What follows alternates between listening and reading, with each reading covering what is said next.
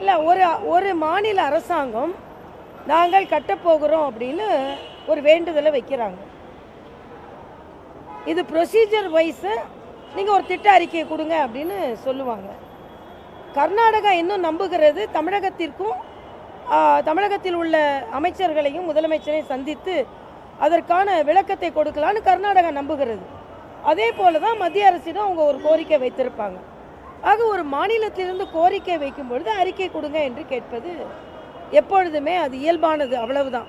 ஆனால் மாநில அரசின் ஒப்புதல் இல்லாமல் அது கட்ட முடியாது என்பதுதான் உண்மை நடைமுறை. அதைத்தான் மத்திய அரசு பின்பற்றும். இந்த மேகதாதுவில் இவ்வளவு தெளிவான ஒரு நிலைப்பாடு இருந்த பின்பும் மறுபடியும் மறுபடியும் அதை அரசியலாக்கி கொண்டிருப்பது தான் சரியானது அல்ல என்பது எனது கருத்து.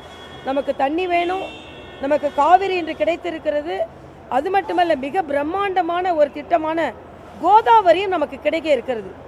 தமிழகத்தில் சில அரசியல்வாதிகளோட பிரச்சனை என்னன்னா முழுவதுமாக அதை தெரிந்து கொள்ளாமல் ஒரு மாநிலம் ஒன்றை கேட்கிறது அது அந்த மாநில பிரச்சனை. நமது மாநில பிரச்சனை என்று வரும்பொழுது நிச்சயமாக நமது மாநிலத்தின் உரிமையை யாரும் விட்டு கொடுக்க போவதில்லை. பாரதிய ஜனதா கட்சி உட்பட. பாரதிய ஜனதா கட்சி நிச்சயமாக இதுக்கு ஒப்புக்கொள்ளப் போவதில்லை. அதை நாங்களும் எதிர்க்கத்தான் செய்வோம். அதனால தெளிவான ஒரு முடிவு வருவதற்கு முன்னாலேயே பலவிதமான விமர்சனங்கள் வருவது தான் தவறு என்பது எனது கருத்து.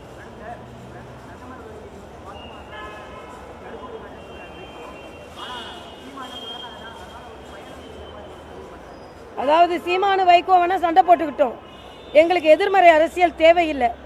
எய்ம்ஸ் மருத்துவமனைக்கு அடிக்கல் நாட்ட வருகிறார். சாமானிய மக்கள் கூட உயர்தர சிகிச்சை பெற வேண்டும் என்று சுதந்திரம் அடைஞ்சு எழுபது வருஷம் ஆயும் யாரும் அதை பற்றி சிந்திக்கலை. ஆனால் மோடி அவர்கள் தான் ஆட்சி செய்த குஜராத்துக்கு கூட போன வாரம் தான் அதை சேங்ஷன் பண்ணியிருக்கிறார்.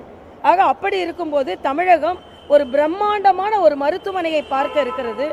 சாமானிய மக்கள் மிகச் சாதாரண மக்கள் அமெரிக்காவுக்கு சென்று சிகிச்சை அளிக்கும் அளவிற்கு உயர் சிகிச்சையை பெற இருக்கிறார்கள். இதற்கு கருப்பு கொடி காண்பித்தார் என்றால் வைகோவை தமிழக மக்கள் மன்னிக்க மாட்டார்கள். அவர்களுக்கான ஒரு திட்டத்தை ஆரம்பிக்க வரும்பொழுது கருப்பு கொடி காட்டுவதற்கு யார் இவர்? யார் இவர்னு கேட்குறேன் அவர் பிரதமர் உரிமை இருக்கிறது தமிழக மக்களுக்கு நல்ல திட்டத்தை அறிமுகம் செய்ய வருகிறார் அடிக்கல் நாட்ட வருகிறார். அதற்கு வைகோ கருப்பு கொடி காட்டினால் வைகோவை தமிழக மக்கள் மன்னிக்க மாட்டார்கள் அவ்வளவுதான் எனது கருத்து.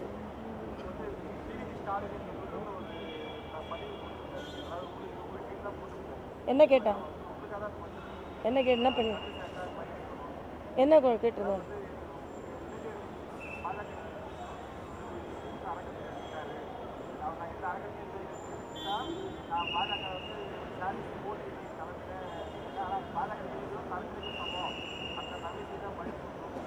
இல்லை நான் உதயநிதிக்கு நான் பதில் கொள்ளலை ஆனால் ஒரு வார்த்தையை பார்த்தேன். அதாவது பாஜகவில் சேருகின்ற தண்டனையை வேண்டுமானாலும் எடுத்துக்கொள்ளலாம் நீங்களாம் நினைக்கிற அளவுக்கு பாஜக ஒன்றும் அவ்வளவு விமர்சனம் செய்யக்கூடிய கட்சி அல்ல. இன்றைக்கி இந்தியாவில் பத்தொன்பது மாநிலங்களில் ஆட்சி செய்கிறது கட்சி மத்தியில் ஆளுங்கட்சி இந்தியாவிலேயே அதிக பாராளுமன்ற உறுப்பினர்களை பெற்ற கட்சி இந்தியாவிலேயே அதிக சட்டமன்ற உறுப்பினர்களை பெற்ற கட்சி இந்தியாவிலேயே அதிக மாமன்ற உறுப்பினர்களை பெற்ற கட்சி.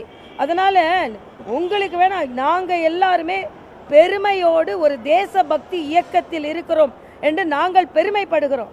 உங்களுக்கு அந்த இயக்கம் அவ்வளவு சிறிதாக தெரிந்தது என்றால் பார்க்கல பார்வையில் கோளாறு. அவ்வளவுதான். அவருக்கெல்லாம் நான் பதில் சொல்ல வேண்டாம். ஆனால் அந்த தண்டனையை ஏற்றுக்கொள்கிறேன் என்று இவ்வளவு கீழ்த்தரமான பதிவை அவர்களால் தான் போட முடியும். இன்றைக்கி கூட என்கிட்ட கேட்டாங்க முரசொலியில் உங்களை பற்றி எழுதியிருக்கிறார்களேன்னு. நான் நிச்சயமாக சொல்கிறேன் கலைஞர் இருந்திருந்தால் பெண்கள் அரசியலில் இருக்கும் அளவிற்கு என்னை போன்றவர்களை இப்படியெல்லாம் மோசமாக அவர்கள் சித்தரித்திருக்க மாட்டார்கள் என்பது எனது உண்மை செய்திகளை உங்கள் கண்முன் கொண்டு வரும் காவிரி நியூஸின் யூடியூப் சேனலை சப்ஸ்கிரைப் செய்யுங்கள். நொடிக்கு நொடி நாட்டு நடப்புகளை தெரிந்து கொள்ள Kaveri news dot TV Facebook Instagram Twitter போன்ற சமூக வலைதள பக்கங்களோடு எப்போதும் இணைந்திருங்கள்.